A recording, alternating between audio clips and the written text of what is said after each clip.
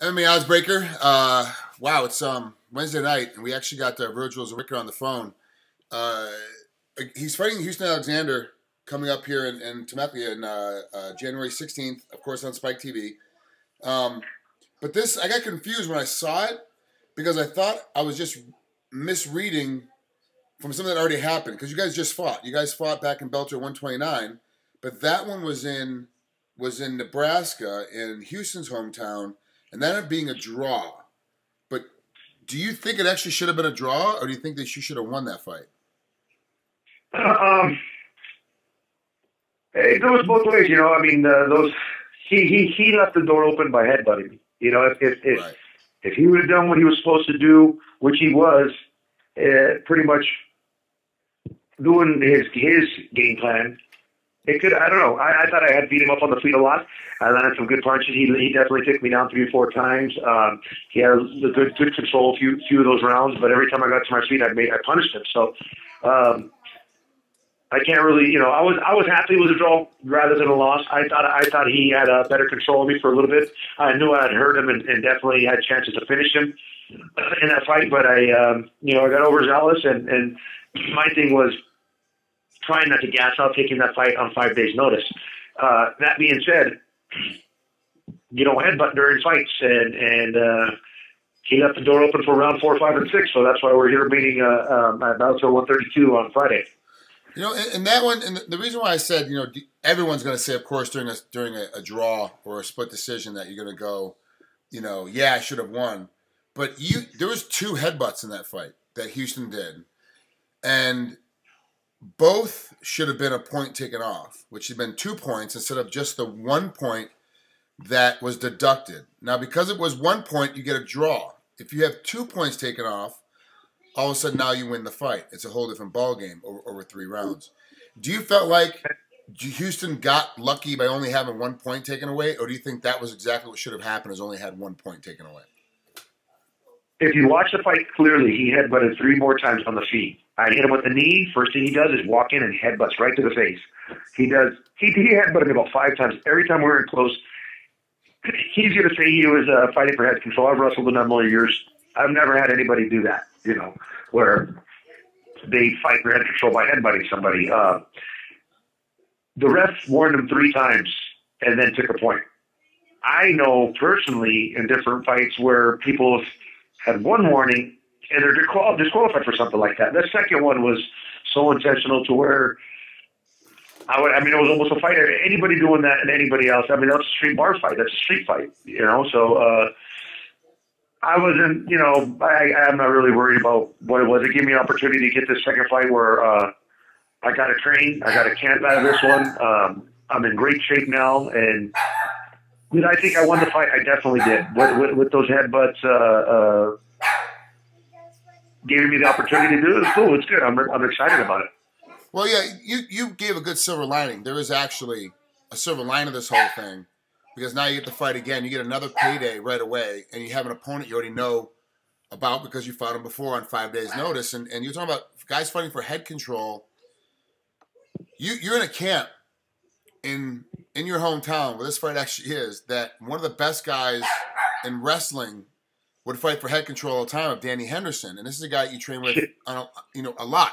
And so you look at a guy like you under you when you say you understand how a guy fights for head control doesn't include headbutting. You really do understand that because Danny's doing that to you every day without headbutting you.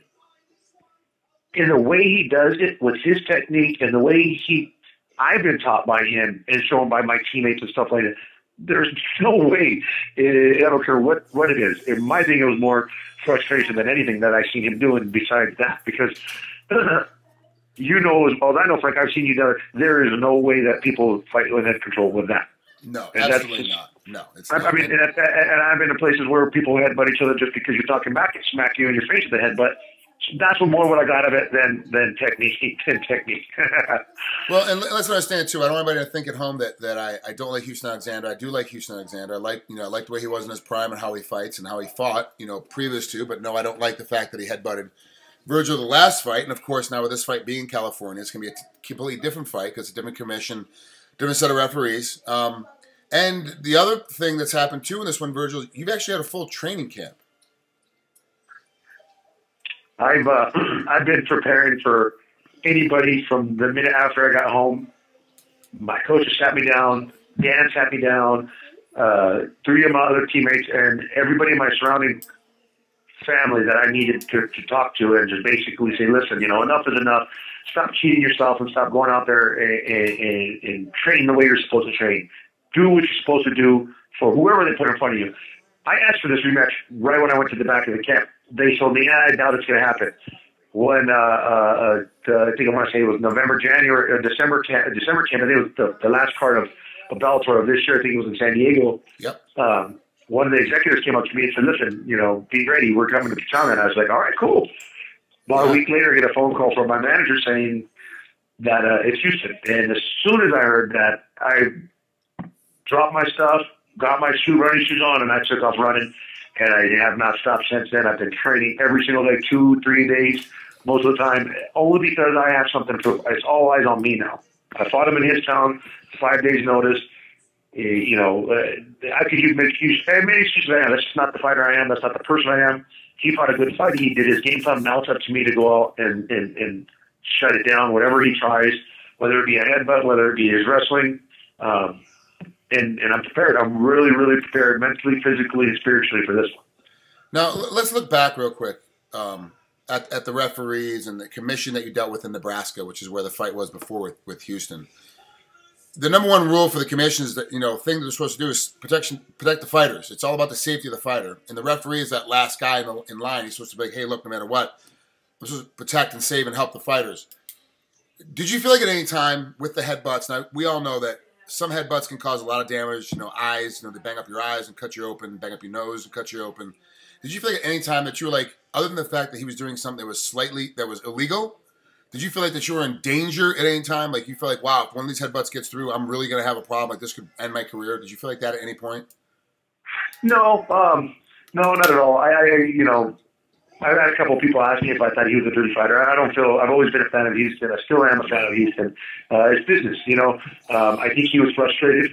I think he was expecting to be able to pass my guard quicker, and, and me being, I thought he, I think he thought I was really exhausted and tired, to where I just let him pass. But um, I think it was frustration. I think he just couldn't get past and, and didn't know what to do. I was tying him up. I was expecting the ref to stand us up quicker, but uh, I think that's why he he did what he did.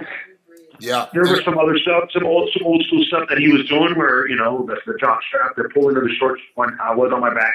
He was reaching underneath and he was holding me, holding me down. You know, with with the, the shorts where the ref could see, which is oh, just yeah. old school technique. You know, and I was okay with that. Yeah, uh, smart. That's that's savvy, savvy veteran kind of style, you know, and that and that's oh, that's part of the game. It, you know that that that old, you know, I've been around the block, so I was I was okay. I wasn't that didn't bother me.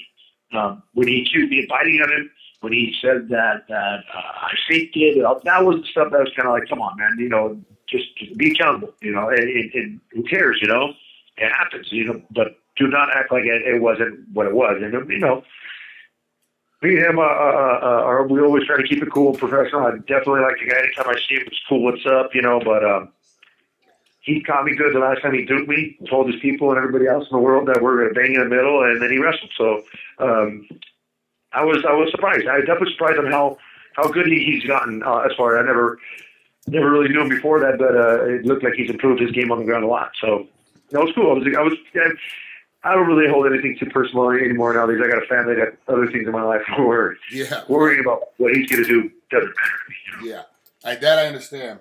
It's uh, Virgil Zwicker getting ready to fight the Houston Alexander coming up here this Friday here in uh, on uh, Bellator on Spike TV, uh, obviously in uh, at the Pechanga Resort Casino in your hometown. Are you checked into the hotel or the casino? Are you there, or are you staying at home the whole time? Um, they have their head offices here at the casino. So as of right now, I, I, I have a room for my coach, but I'm in my own bed. I love to stay at my own my own place if I can. So uh, um, my phone's off most of the time, and uh, uh, this week it's just been really comfortable just having everything right here at my house. Uh, you know, I just got to run in and out of the casino. I don't really like being in the casino, the, the smoke, the the in and out energetic places that it has. So uh, if I could be at home, I'd much rather be at home. They allow me to be at home, so that's what I'm staying at home now. And uh, like I told you it's kind of one of those things where the pressure's now on me. You know, it's all on me and what I'm going to do and how am I going to react with with having a camp and having the pressure on me? And for instance, compared to how he did, you know, so I'm excited. I'm very excited. I've I've, I've, I've done everything possible that I can do to make sure that I'm prepared. And uh, now it's now it's time. Now it's time for me to shine. Virgil, thanks for coming on here with MMA Oddsbreaker. I appreciate it, man. It was, it was great to finally talk to you, and, and thanks to Nima, your manager, for making this thing happen tonight. I know it was uh, short notice for you. And he did tell me, Nima did tell me, you like to keep your phone off. It was going to be tough to get a hold of you, and I'm glad that you uh, came on for, for me at least. Um, at what point do you feel like, hey, you've got to stop doing interviews fight week. You've got to stop doing, you know, all the hype stuff. And it's just time for game plan. Are you guys likes to do interviews all the way up until, you know, weigh-ins, all the way up until fight day? Are you still doing interviews? Or you guys like to shut it down as quickly no, as possible? No. I expected my manager to have my interviews done by Friday, Saturday last week. Okay. For some reason, uh, uh, he didn't do that, and uh, I was um, I didn't want to let small stuff, you know, bother me on this one. That's, you know, before I, I that, that, you know, that's kind of the thing where uh, that's how I've just been. It's just been nothing but positive energy. My my training camps have done so good. My weight's down. I'm about six pounds out right now. Wow. Um, so I wasn't letting the little things get to me. When when he called me and asked me, and he told me you were, I was all, all for sure. I've been wanting to get on your show for a while just because I'm a big fan of you, you know, and. uh uh, I was excited. So uh, this is actually the last interview I will be doing, and and uh, um, I, I don't like to do that. I like to have everything done fight week. It's all about business. You know, I don't like people calling asking locally around here. You know, can I get tickets? How do I get tickets?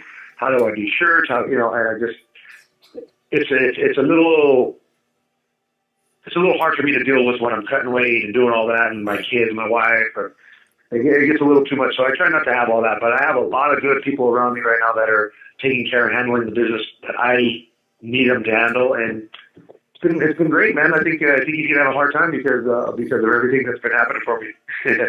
It's good to hear, Virgil. I'm glad that things are uh, moving in a progressive state for you, and that uh, that uh, you're ready to rock, man. It's gonna be a great fight. I can't wait to watch it. Um, for those of you who don't watch this fight, it's gonna be on Spike TV, of course. Um, local listing, double check to see what time it starts, but it's gonna be it's gonna be a great fight for sure.